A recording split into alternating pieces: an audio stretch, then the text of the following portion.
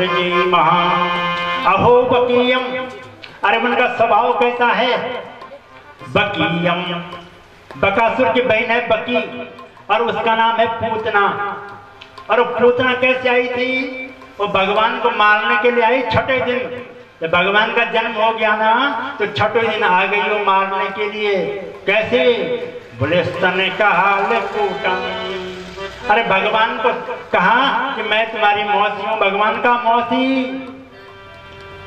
अब मौसी कहते हैं, भगवान, जो मासी है, जो देखने में जिसकी शकल सूरत माँ की तरह लगती वो है मासी। और मासी बड़ी बड़ी मौसी। अब वो जान पहले कारण समाये बोल था, और अब लोग गए बोलने मौसी। तो मौसी है, क्योंकि मासी है। और भगवान तो सोच रहे हैं, मासी है, पर वो बोल रही है, मैं मासी नहीं, मैं तो मौसी हूँ। मैं तो कालकूट लगा के आई हूँ तुम्हारे लिए। और और अपने स्तनों पर कालकूट जहर लगा के आई पूतना। और जैसे ही भगवान के नज़दीक आई ना, भगवान ने उसको ऐसा, ऐसी गति दी बोले, ले गति यहाँ अरे ऐसी गति दी जो अपनी माँ को दी। और जब मरी ना, पूतना तो पूतना की को जब जलाया गया, बोले, उससे खुशबू आने लग गई चंदन की लकड़ियों की। किसी ने पूछा, भैया, ऐसा कैसा हो गया? ये पूतना थी ये काल को जहर लगा के भगवान को मारने आई और भगवान ने इसको ये गति दे दी। इससे चंदन की खुशबू निकल रही है। बोले, भगवान ऐसे ही हैं। एक संत कहते हैं, भैया, जिसके नाम लेने से लोग तर जाते हैं, बहुत सागर पार कर जाते हैं, जिसकी छाती पर ये परमात्मा रहे होंगे, अरे उसको ये गति नहीं मिलेगी। इसीलिए पोतना को ये गति दी है कि यस्य स्मरण मात्रेण जन्म संसार बंदना विमुच्यते नमस्तस्मै विष्णवे प्रभ विष्णवे मेरे परमात्मा अरे उसको ऐसी गति नहीं देंगे। जिसका नाम लेने से लोग तर जाते हैं, उस परमात्मा का ने जिसका स्तनपान किया होगा, उसको ये गति मिल रही है। इसलिए मेरे परमात्मा का बड़े स्वभाव भी बहुत सुंदर है। और जब सुना कि मेरे परमात्मा का स्वभाव भी अच्छा है, क्यों ना मैं उस भगवान के बारे में जानूं? और, ऐसा सोच करके सुखदेव जी तुरंत शिष्यों के पास चले गए और शिष्यों से पूछा भैया इसके बारे में क्या मुझे कुछ सुनने को मिल सकता है? और शिष्य तो यही चाहते थे ना। वेद व्यास ने कहा था कि उनको सुनाना उनको आकर्षित हो जाए और उनको मेरे पास ले जाना। शिष्यों ने कहा सुखदेव जी ये जो श्लोक है ना ये भागवत के हैं। और भागवत में तो नमूना बताया हमने आपको दो श्लोकों का, उसमें ऐसे ऐसे अठारह हज़ार श्लोक हैं। और वो तुम्हारे पिता वेद व्यास जी के पास हैं। चलो, उनका पान करने, उनको सुनने के लिए चलो और यहाँ से सुखदेव जी को ले गए हैं। बोलिए सुखदेव जी महाराज की, वेद व्यास भगवान की। और बोला, अब ऋषियों ने पूछा सोनिका जी ने सूत जी से पूछा, हे सूत जी आपने ये तो बता दिया कि भगवान जो सुखदेव जी हैं, वो कथा को सुनने के लिए भी चले गए, भागवत को पढ़ने के लिए चले गए। पर भैया, इस भागवत का प्रारंभ कैसे हुआ? भागवत शुरू कहाँ से हुई है? बोले, यदा मृधि कौरव संजयाना वीरेश्वथो वीर गति गतेषु। वृको जरा विद्य गदाभिमर्शो भग्नोरुदण्डे धृतराष्ट्रपुत्रे। यदा मृधि कौरव संजयाना। बड़े द्वापर समाप्ति का समय था। और उस समय द्वापर समाप्ति का जब समय था तो ठीक उसी समय महाभारत का युद्ध हुआ था। बोले इस भागवत का प्रारंभ हुआ है, यहाँ से भागवत की कथा का। जब महाभारत का युद्ध समाप्त हुआ, महाभारत के युद्ध में भीम ने दुर्योधन की जंघाएँ तोड़ दी। और जंग, जंघाएँ टूटा हुआ दुर्योधन अपने अंतिम गिन, दिन गिन रहा है। अंतिम दिन गिन रहा है कि मेरे दिन कैसे पूरे हों। अब क्या करूँ? पश्चाताप हो रहा है। अंतिम साँसें गिन रहा है और उसी समय उनके सम्मुख अश्वत्थामा आ गया। अश्वत्थामा जैसे ही आया ना दुर्योधन थोड़ा प्रसन्न हो गया। अश्वत्थामा ने कहा मित्र दुर्योधन अरे भैया, तेरे अंतिम दिन है। आज मुझे याद आ रहा है, अगर तुम मुझे सेनापति बना देता ना तो मैं कुछ कर पाता। मैं एक नहीं, पाँचों पांडवों के सिर काट के ले आता। बोल, क्या सोच रहा है? अश्वत्थामा ने कहा, मित्र, अश्वत्थामा, मुझे बड़ा पश्चाताप है। बड़ा सोच रहा हूँ कि इतना बड़ा युद्ध हुआ। अरे मेरे सौ भाई मारे गए। एक अंतिम मैं बचा हुआ हूँ। हम सौ भाई थे, उनमें से सब मर चुके हैं।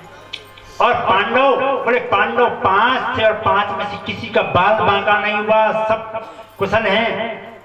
अरे, मेरे मन में बड़ी पीड़ा हो रही है। इस मेरी मनोकामना को कोई पूर्ण कर देता। दुर्योधन अपने मन की व्यथा सुना रहा है। अश्वत्थामा ने कहा, मित्र निश्चिंत रहे। मैं उन पाँचों पांडवों की गर्दन काटकर तेरे सम्मुख ले आऊँगा। तेरा अंतिम जो इच्छा है ना, मैं पूरी करूँगा। और यहाँ से चल दिया स्वत्थामा के निश्चिंत रहे। मैं काट कर लाऊँगा उनका सराज तेरे सम्मुख। और जैसे यहाँ से गया, आज पांडवों के शिविर में पहुँच गया है दुष्ट अश्वत्थामा तब तक भगवान ने पांडवों से कहा, पांडवों भैया, हमने इतना बड़ा युद्ध जीता है। ऐसा करते हैं, कुछ खुशी तो मना लें। और यहाँ से चल दिए बड़े बड़े प्रभु, कहाँ चलना है? और सब के सब पांडव वहाँ से शिविर से उठ करके आज यमुना तट की ओर चले गए हैं। कि वहाँ पर कुछ बातें करेंगे, नींद वैसे भी नहीं आ रही है। और उनके बच्चों ने सोचा, इनको नींद नहीं आ रही है, इन बुद्धों को तो नींद नहीं आती, हमको तो सोने दो। और पाँचों बच्चे, पांडवों के पाँचों पुत्र, आज यहाँ पर अपने अपने पिताओं की सैयों पर सोने के लिए चले गए। पांडव उठकर चले गए और अश्वत्थामा रात्रि में यहाँ पहुँच गया है शिविर में। और जैसे ही शिविर में पहुँचा, चुपचाप से देखा उस घोर अंधकार में खड़ बाहर निकाली म्यान से और पाँचों पुत्रों के कटे सिर लेकर के पोटली में बाँध कर वापस दौड़ता हुआ दुर्योधन के पास पहुँच गया है। दुर्योधन बड़ा खुश हो गया। इस दुर्योधन को साफ़ लगा था कि, हे दुर्योधन, तेरी मृत्यु उस दिन होगी, जिस दिन तुझे एक बार बहुत बड़ी खुशी मिलेगी और दोबारा तुझे दुख मिलेगा, उसी दिन तेरी मृत्यु हो जाएगी। बड़ा प्रसन्न हो गया दुर्योधन। अब बोला, मेरे पास सबसे पहले अर्जुन का सिर दे। जैसे ही अश्वत्थामा ने पकड़ाया चिल्ला पड़ा दुर्योधन, हे दुष्ट, अश्वत्थामा तुमने ये क्या कर दिया? अरे दुष्ट, तुमने मेरे वंश का ही नाश कर दिया। तूने मेरे वंश को ही मिटा दिया। अरे दुष्ट, ये मेरे मेरे भाई नहीं उनके पुत्र थे, इन्होंने मेरा क्या बिगाड़ा था? अरे थे तो मेरे भाइयों के पुत्र। अरे तूने मेरे वंश में कोई पानी देने वाला नहीं रखा? अरे मेरे भाइयों के पुत्र भी रहते थे ना, रहते ना? तो दुष्ट कोई तर्पण देता उस समय एक वंश को नहीं, एक ले जाता। अपुत्रा गोत्रिणो स्मृता ते पिबंत मया दत्तम। सूत्र निष्पीजनोदकम हम तर्पण देते हैं ना।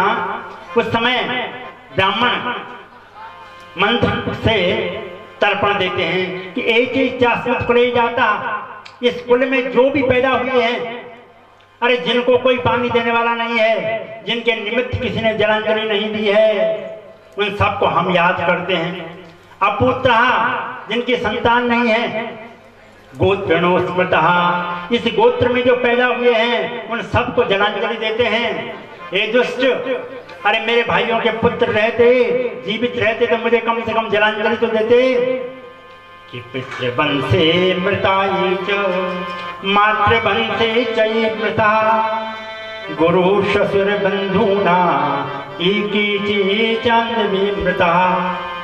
अरे मेरे कुल में अगर ऐसे ये जीवित रह जाते तो तुमने क्या कर दिया? बहुत दुख हुआ दुर्योधन को और उसका भी प्राण शांत हो गए। और अब अश्वत्थामा समझ गया, मैंने तो बहुत दुष्कृत्य कर दिया है। यहाँ से वापस गया, भागता हुआ कि अब अगर पांडव जीवित हैं तो वो मुझे नहीं छोड़ेंगे। अब अब पांडव मुझे जीवित नहीं छोड़ेंगे और यहाँ से भागा है।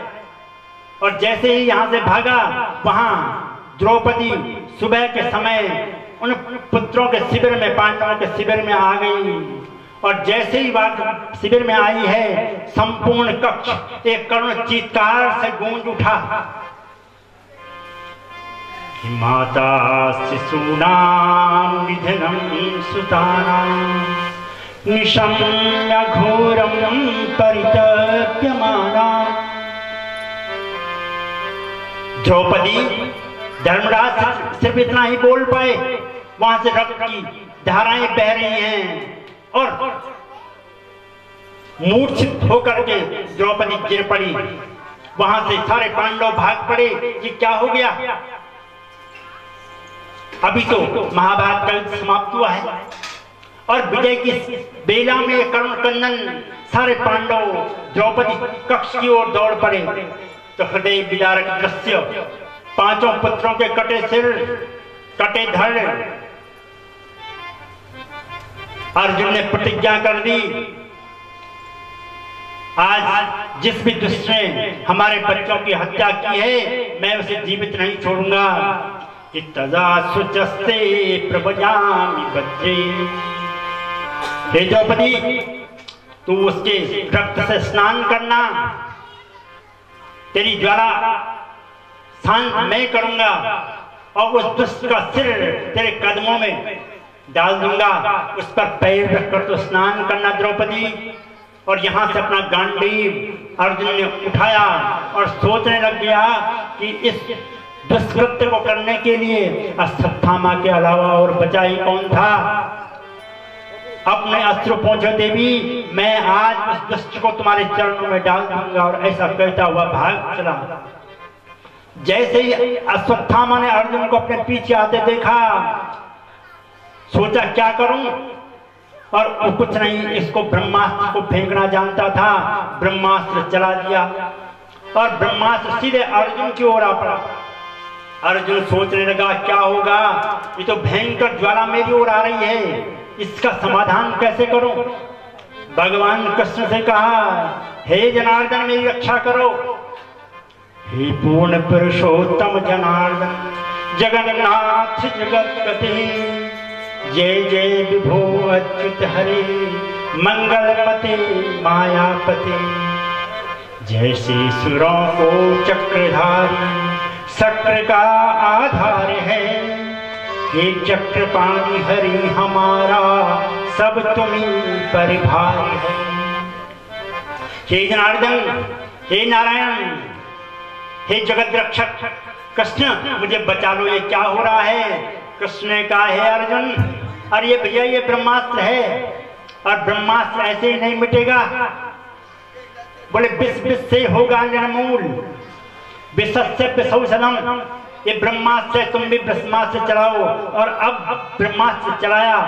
अर्जुन ने तो ब्रह्मास्त्र ने ब्रह्मास्त्र को काटा और जैसे ही शांत हुआ, वैसे नज़दीक चला गया है अश्वत्थामा के और उसको पकड़ लिया है। और पकड़ करके बाँध दिया है रस्सियों में और घसीटता हुआ ला रहा है। कृष्ण ने कहा, अरे दुष्ट को मार दे यहीं पर। अर्जुन ने कहा, नहीं, प्रभु, मैंने द्रौपदी को आश्वासन दिया है। कि तुम उस दुष्ट के पैर पर उसके रक्त से स्नान करना, उसकी ज्वाला भी तो शांत होनी चाहिए। और उसको घसीटता हुआ सीधा ले जा रहा है द्रौपदी के शिविर में। और जैसे ही द्रौपदी ने अलाते हुए देखा, ब्राह्मण पुत्र स्वत्थामा को हाथ जोड़कर प्रणाम करते हुए बोली, प्राणनाथ, इन्हें क्षमादान कीजिए। द्रौपदी हृदय कंठ से अश्वत्थामा को हाथ जोड़कर प्रणाम करते हैं, बोली आर्यपुत्र जिनसे आपने युद्ध कौशल की विद्या प्राप्त की, ये मुनि पूज्य गुरुदेव के पुत्र हैं और सहेश भगवान द्रोण प्रजारूपेण वर्तते और वो हमारे गुरुदेव आज जीवित नहीं है, पर उनके पुत्र के रूप में हमारे सम्मुख हैं, वही जीवित हैं, वो तुम्हारे गुरुदेव हैं। जो तुम्हारे गुरु ने जो विद्या अपने पुत्र को नहीं दी, वो तुम्हें दी। और आज तुम गुरु पुत्र को इस प्रकार से अपमानित करोगे? सब चकित हो गए। अरे द्रौपदी, ये तुम्हारे एक नहीं, पाँच पुत्रों का हत्यारा है। द्रौपदी ने कुछ नहीं सुना। बड़े भगवान ऐसों को ही सौ साल ब्याज जी लिखते हैं कि बाम स्वभावा कृपया नमाम च। भगवान इसीलिए द्रौपदी को इतना प्रेम करते हैं। हाथ जोड़कर प्रणाम करते हुए अर्जुन को बोली बंदे नाम नैनम सती। मुच्यताम मुच्यतामेश, ब्राह्मणो नितरांगो वाचास हंत्य अरे इनको छोड़ दो छोड़ दो, ये ब्राह्मण पुत्र हैं। बोले, द्रौपदी, तुम क्या कह रही हो? बोले, ये ये ब्राह्मण पुत्र हैं। मेरे घर में ब्राह्मण का अपमान न करो। बोले, आज जैसे पुत्र वियोग में मैं माँ हूँ और जानती हूँ कि आज जैसे पुत्र वियोग में मैं तड़प रही हूँ ना। अरे, इनकी माता कृपी वे पुत्र वियोग में न जाने क्या कर बैठे। अरे मैं किसी को सुख न दे सकूँ, किसी के दुख का कारण तो न बनूं।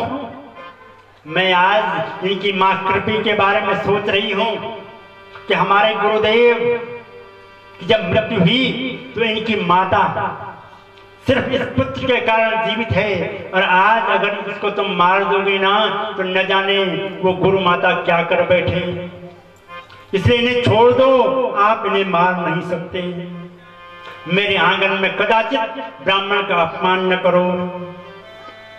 अश्वत्थामा भी सोचने लग गए कि द्रौपदी, जो लोग तेरी प्रशंसा करते हैं, ऐसे नहीं करते। भगवान भी सोचने लग गए, द्रौपदी, क्या कह रही है? अब सब लोग धर्म संकट में पड़ गए। अर्जुन ने कहा, मैं क्या करूँ? और भीम ने कहा, अर्जुन, तेरे बस का इसको मारना नहीं है ना? तुम मेरे हवाले इसको कर दे, मैं इसे जीवित नहीं छोड़ूँगा। धर्मराज युधिष्ठिर भी द्रौपदी के पक्ष में हो गए। और अर्जुन को धर्म संकट हो गया, क्या करूँ? द्रौपदी कह रही, इसको मारना मत। और और भीम कह रहे हैं कि इसको छोड़ना मत, क्या करो? भगवान के शरण में गए। हे प्रभु क्या करूँ? इस धर्म संकट से हमें उबारिए। भगवान ने कहा, अर्जुन, मैं क्या कहूँ भैया? बोले ऐसी स्थिति में जो हमारे शास्त्र कहते हैं, वो करना चाहिए। बोले हे नारायण, बताओ तो ऐसे शास्त्र क्या कहते हैं? बोले ब्रह्म बंधु नहंतव्यम, और आदताई बधारहना बोले ब्रह्म बंधु नहंतव्यम ब्राह्मण को किसी भी स्थिति में मारना नहीं चाहिए। और बोले, और? तो बोले, अब क्या करूँ? अब अब अर्जुन को संकट हो गया। अर्जुन ने कहा, कोई इसको मारेगा नहीं। अब जब भीम मारने को आया ना तो उसने कहा, बड़े भैया, आप इस पर हाथ नहीं लगा सकते। क्योंकि शास्त्र ये कहते हैं और नारायण ये कह रहे हैं। और मैं बोला मैं इसको मारने नहीं दूँगा, क्योंकि निशस्त्र है। और निशस्त्र को मारना पाप है। मैं क्षत्रिय हूँ, किसी निशस्त्र पर अस्त्र नहीं चलाऊँगा और न किसी को चलाने दूँगा। बड़ा धर्म संकट हो गया, क्या करूँ? अरे भगवान ने कहा, जन रुक जा। एक बात और कही है शास्त्र ने। क्या कहा? बोले, आतताई बधारहना। बोले, आतताई को छोड़ना नहीं चाहिए। जो बच्चों का, ब्राह्मणों का गायों का जो हत्यारा हो उसे छोड़ना भी नहीं चाहिए। बोले वाह प्रभु अच्छा न्याय दिया। बोले ब्राह्मण को मारना नहीं चाहिए और आतताई को छोड़ना नहीं चाहिए। अब क्या करूँ? बोले भैया निर्णय लेना तुम्हारा काम है, बुद्धि तुम्हारे पास है। अर्जुन ने सोच लिया, क्या करूँ? बोले किसी का अपमान कर लो ना, बहुत बड़ा। कोई सम्मानित व्यक्ति हो, उसको अपमान अगर कर दिया, उसकी मौत हो जाती है। बड़े संभावित कह, अपयस मरण कोटि सम रामायण में कहते हैं कि नभी तो मरणादस्मि केवलम दूषित हो ऐसा। अरे मैं मरने से नहीं डरता, मैं डरता हूँ तो अपमान से डरता हूँ। हमारे यहाँ पहले बोलते थे ना कि विक्षण से मरनो बलो इसका अर्थ भी यही है कि आदमी अपमानित नहीं होना चाहिए। जो जीवन वो जिए उस जीवन में उसकी कीर्ति होनी चाहिए, उसका यश होना चाहिए, उसका मान होना चाहिए, उसके लिए तो आदमी जीता है।